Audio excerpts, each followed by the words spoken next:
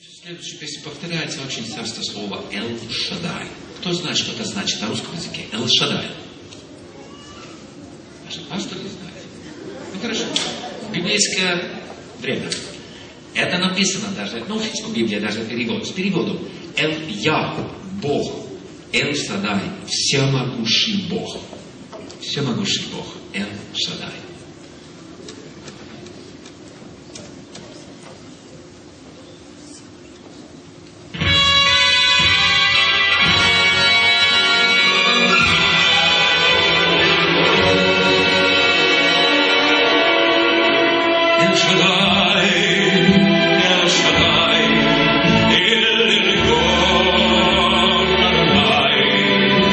It's my boy.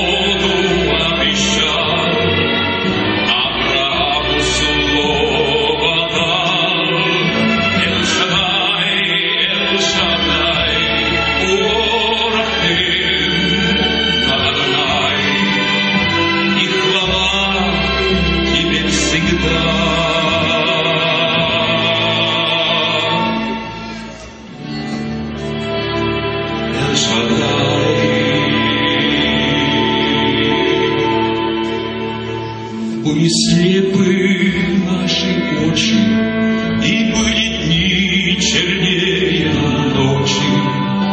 Наш Господь нас просветил, Очи разума